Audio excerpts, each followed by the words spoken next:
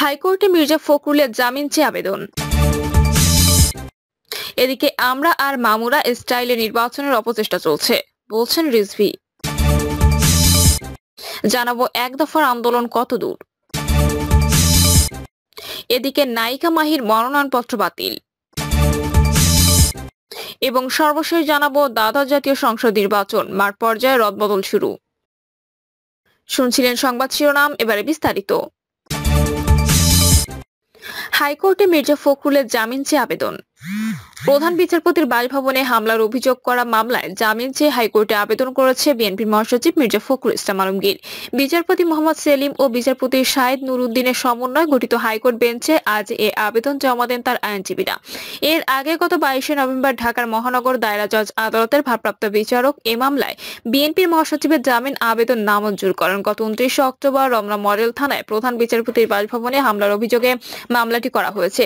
এ মামলায় আজ মির্জা ফখরুলের জামিন চেয়ে করা আবেদন হাইকোর্টে জমা দেন জ্যেষ্ঠ আইনজীবী জয়নুল আবদিন ও আইনজীবী সগির হোসেন লিওন। পরে আইনজীবী সগির হোসেন লিওন বলেন, মির্জা ফখরুল ইসলাম আলমগীরের জামিন চেয়ে করা আবেদনটি জমা দেওয়া হয়েছে। আবেদনটি কাল কার্যতালিকায় আসছে বলেছেন হাইকোর্ট।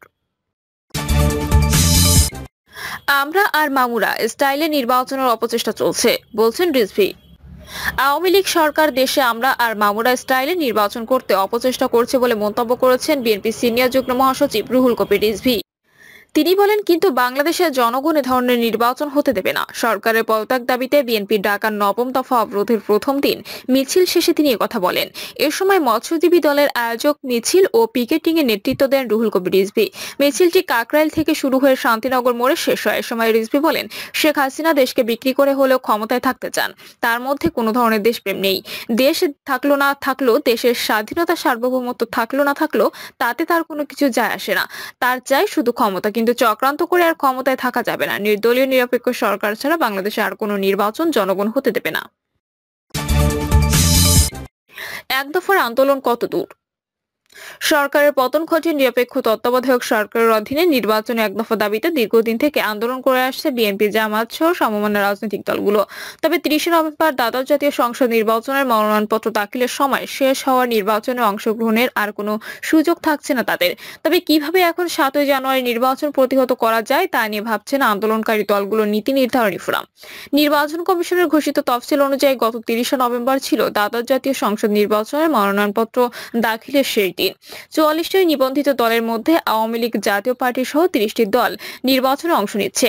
আর বিএনপি, সিপিবি, বাসাদ সহ চোদ্দটি দল ভোটে যায়নি। তবে বিএনপি নেতৃত্বাধীন যুগপথ আন্দোলনের শরিক বাংলাদেশ কল্যাণ পার্টি এবং বাংলাদেশ মুসলিম লীগ নির্বাচন করছে। শেষ দিনে দল দুটির প্রার্থীরা মনোনয়নপত্র জমা দিয়েছেন। এর আগে একাদশ জাতীয় সংসদ নির্বাচনে উনচল্লিশটি নিবন্ধিত দলের সবগুলো অংশ নিয়েছিল। আর বিএনপি সহ বেশিরভাগ দল বর্জন করলেও দশম সংসদ নির্বাচনে সতেরোটি রাজনৈতিক দল অংশগ্রহণ করেছিল।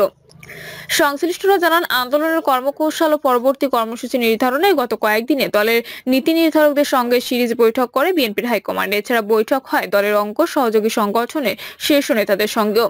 উদ্ভূত পরিস্থিতিতে হরতাল অবরোধের কর্মসূচি অব্যাহত রাখার পরামর্শ দেন তারা। সে অনুযায়ী মনোনয়নপত্র প্রত্যাহারের শেষ দিন আগামী সতেরোই ডিসেম্বর পর্যন্ত সারা দেশে হরতাল অবরোধ অব্যাহত রাখার ব্যাপারে প্রাথমিক সিদ্ধান্ত নিয়েছে হাইকমান্ড।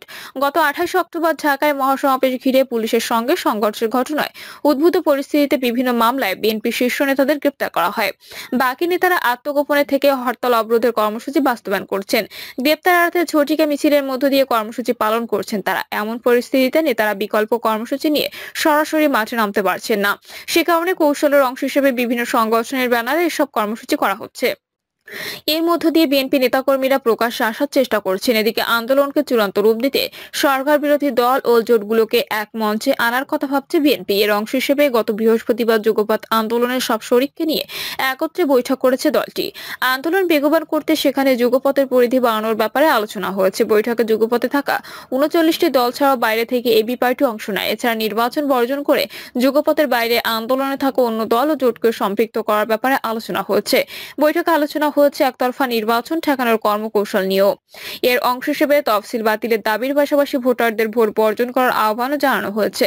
বিএনপির স্থায়ী কমিটির সদস্য ডক্টর আব্দুল মঈন খান বলেন, একটি অবাধ, সুষ্ঠু অংশগ্রহণমূলক নির্বাচনের দাবিতে দীর্ঘদিন থেকে আন্দোলন করে আসছে বিএনপি। দেশের জনগণের প্রত্যাশা অনুযায়ী ভোটাধিকার পুনর্বহালের জন্য নিরবিচ্ছিন্নভাবে আন্দোলন চালিয়ে আসছি। দাবি আদায় না হওয়া পর্যন্ত আমরা আন্দোলন চালিয়ে যাব। যুগপৎ আন্দোলনের অন্যতম শরিক বারো দলের সমন্বয়ক রাশেদ প্রধান বলেন, একতরফা নির্বাচনের বিরুদ্ধে আমরা ঐক্যবদ্ধ আন্দোলন চালিয়ে আসছি। জনগণের আকাঙ্ক্ষার বাইরে কোনো প্রহসনের নির্বাচন হতে দেওয়া হবে না। জামায়াত ইসলামী, ঢাকা মহানগর, দক্ষিণের প্রচার সম্পাদক আতাউর রহমান সরকার বলেন, নির্দলীয় নিরপেক্ষ তত্ত্বাবধায়ক সরকার ছাড়া জামায়াত ইসলামী কোনো নির্বাচনে অংশগ্রহণ করবে না। দাবি আদায় না হওয়া পর্যন্ত আন্দোলন চলবে। প্রয়োজনে তা আরও বেগবান হবে। নায়িকা মাহির মনোনয়নপত্র বাতিল। চিত্রনায়িকা মাহিয়া মাহির মনোনয়নপত্র বাতিল করা হয়েছে। যাচাই বাছাইয়ের সময় ভুয়া ভোটার শনাক্ত হওয়ায় তার মনোনয়নপত্রটি বাতিল করেছেন রাজশাহী জেলা রিটার্নিং কর্মকর্তা ও জেলা প্রশাসক শামীম আহমেদ। তিনি জানান, দল থেকে মনোনয়ন না পাওয়া চিত্রনায়িকা মাহিয়া মাহির রাজশাহী এক আসন থেকে স্বতন্ত্র প্রার্থী হিসেবে মনোনয়নপত্র জমাতেন। আর স্বতন্ত্র প্রার্থী হিসেবে নির্বাচন করলে মনোনয়নপত্র জমা দেওয়ার সময় নিজের আসনের এক শতাংশ ভোটারের স্বাক্ষর জমা দিতে হয়। কিন্তু জালিয়াতির অভিযোগে তার মনোনয়নপত্র বাতিল করা হয়েছে। রাজশাহী এক আসনের ভোটার সংখ্যা চার লাখ তিরাশি হাজার একশো সাতাশ জন। সেই হিসেবে চিত্রনায়িকা মাহিয়া মাহের চার হাজার তিরাশি জনের সমর্থনকারী স্বাক্ষর জমা দেন। এর মধ্যে থেকে দশ জনের তথ্য যাচাই বাছাই করে তিনজনের মধ্যে হেরফের পাওয়া গেছে। তার জমা দেওয়া এক শতাংশ ভোটারের স্বাক্ষরের মধ্যে তিনজন ভোটারের নমুনা পাওয়া যায়নি আর একজন ভোটার না। ললিতা মান্ডি নামে একজন নারী রয়েছেন যিনি চাঁপাইনবাবগঞ্জ জেলার নাচলের ভোটার। তিনি তানোরের ভোটার না। এজন্য মাহির মনোনয়নপত্রটি অবৈধ ঘোষণা করা হয়েছে বলেও জানান রিটার্নিং কর্মকর্তা।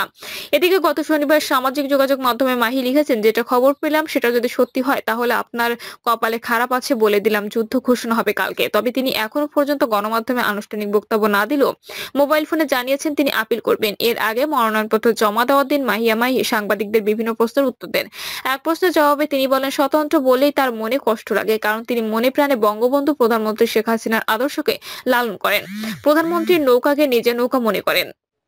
তাই প্রধানমন্ত্রী নির্দেশ দিয়েছেন কোন এলাকায় যেন কেউ বিনা প্রতিদ্বন্দ্বিতা নির্বাচিত না হয়। এ জায়গা থেকেই তিনি রাজশাহীর তানোর গোদাগাড়ি আসন থেকে নির্বাচন করতে চান। কারণ তার কাছে মন হয়েছে এই আসনটিতে আওয়ামী লীগের যে প্রার্থী আছেন, তিনি অনেকটাই বিনা প্রতিদ্বন্দ্বিতা নির্বাচিত হয়ে যেতে পারেন।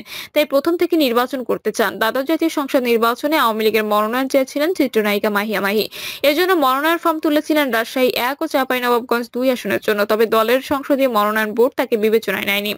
চাঁপাইনবাবগঞ্জ থেকে দলীয় মনোনয়ন চাওয়ার পরও সেখানে নির্বাচন না করে রাজশাহীতে করার কারণ সম্পর্কে জানতে চাইলে মাহিয়া মাহি বলেন, সেখানে অনেক প্রার্থী। তাই বিনা প্রতিদ্বন্দ্বিতায় কেউ নির্বাচিত যাওয়ার সুযোগ নেই। তাই রাজশাহীর এই আসনে প্রতিদ্বন্দ্বিতা করতে চান বলে উল্লেখ করেন চলচ্চিত্র নায়িকা মাহি।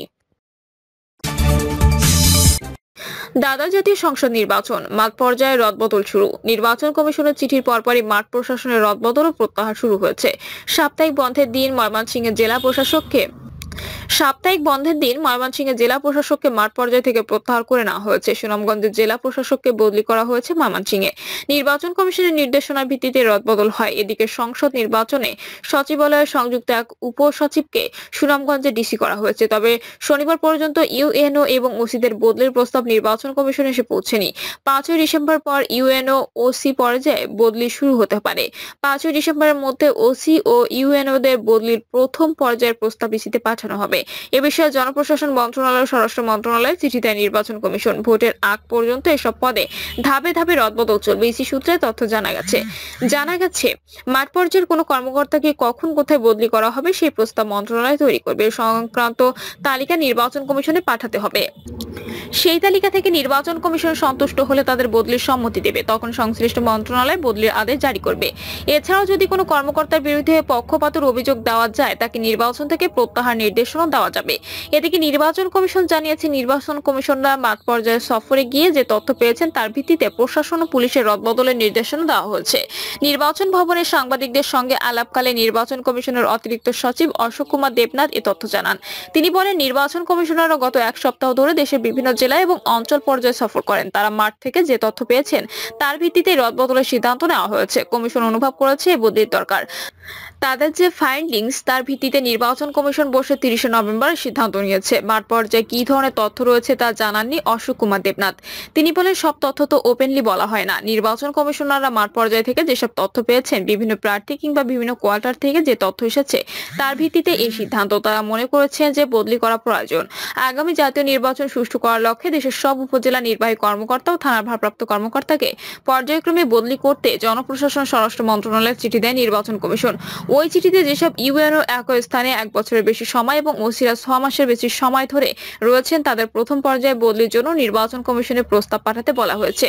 ওই প্রস্তাব পাঠানোর জন্য পাঁচই ডিসেম্বর সময় বেঁধে দেওয়া হয়েছে। এছাড়া কয়েকজন ডিসিএসপি কে প্রত্যাহার ও বদলির জন্য পৃথক নির্দেশনা দেয় কমিশন। ওই নির্দেশনার পর গতকাল ময়মনসিংহের জেলা প্রশাসক মোহাম্মদ মুস্তাফিজার রহমানকে মাঠ পর্যায়ে প্রত্যাহার করে নেওয়া হয়েছে। তাকে স্বাস্থ্য মন্ত্রণালয়ে বদলি করা হয়েছে। অপরদিকে সুনামগঞ্জের জেলা প্রশাসক দিদারে আলম মোহাম্মদ মাকসুদ চৌধুরীকে বদলি করে ময়মনসিংহে ডিসি করা হয়েছে। জাতীয় সংসদ সচিবালয়ের উপসচিব মোহাম্মদ রাশেদ ইকবাল চৌধুরীকে সুনামগঞ্জে ডিসি করা হয়েছে। প্রিয় দর্শক, এই ছিল এখনকার সর্বশেষ সংবাদ। আপডেট সব সংবাদ পেতে চ্যানেলটি সাবস্ক্রাইব করে বেল আইকনটি ক্লিক করে রাখুন।